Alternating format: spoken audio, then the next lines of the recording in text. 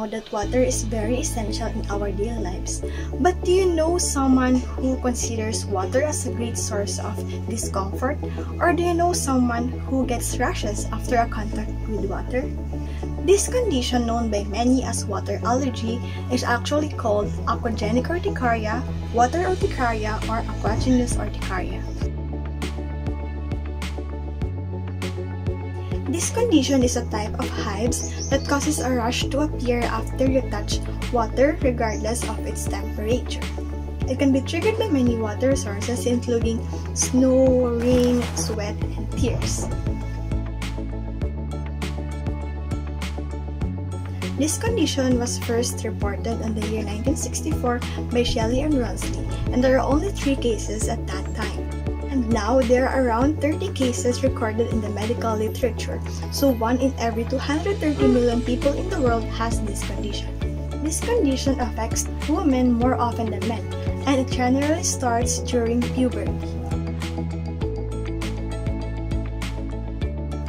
The cause of aquagenic urticaria, or its pathogenesis, is still unknown.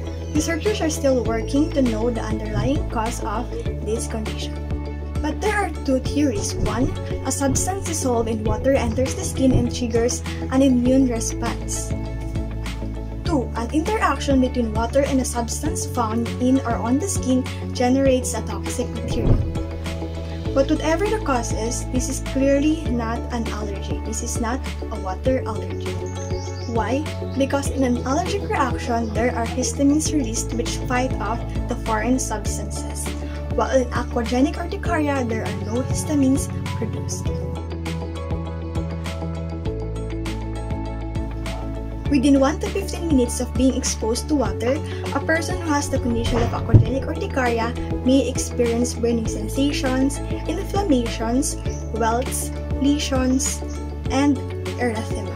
The symptoms may be found anywhere on the body, but it can be found mainly on the upper body, the neck, the chest, the back, the shoulders, and the arms. Upon drying the skin, the symptoms may fade within 30 to 60 minutes.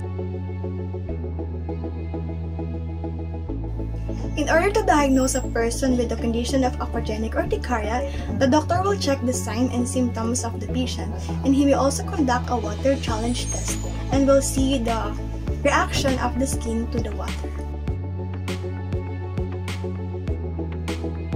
As of now, there is no cure for aquagenic urticaria due to the rarity of aquagenic urticaria and to the very limited data regarding the effectiveness of individual treatments.